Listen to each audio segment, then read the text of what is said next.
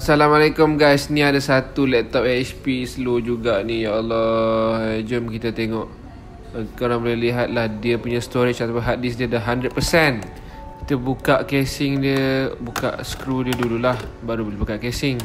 Lepas dah buka casing tu uh, Korang boleh tengok dekat sini. Ha, Ni hard disk dia tadi 100% tu Kita tukar dengan solid state drive disk.